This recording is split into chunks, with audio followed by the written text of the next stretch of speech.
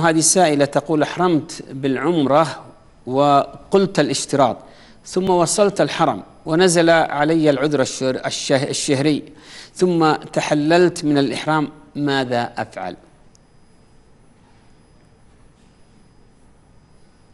إذا كان الإنسان قد اشترط عند الإحرام وكانت المرأة قد نوت بهذا الاشتراط أن لها التحلل متى جاءها العذر فإنه إذا جاءها العذر جاز لها التحلل على الصحيح من قول أهل العلم ولم يجب عليها دم ولا غيره كما هو مذهب الشافعي وأحمد.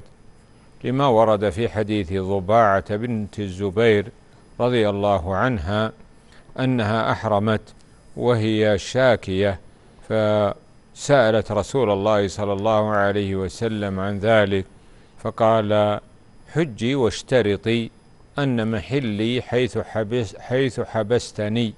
محلي يعني أن لي التحلل من الإحرام.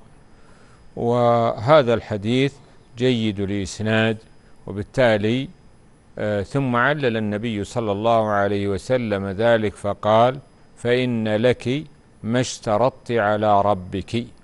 ومن ثم فإنه يجوز لها أن تتحلل من الإحرام متى جاءها العذر وكانت قد اشترطت التحلل ونوت بذلك الاشتراط ما يأتيها من العذر. ولا يلزمها في هذه الحال ذبيحة ولا شاة ولا فدية ولا صيام ولا غير ذلك على الصحيح. ولا يلزمها شيء من هذا. نعم.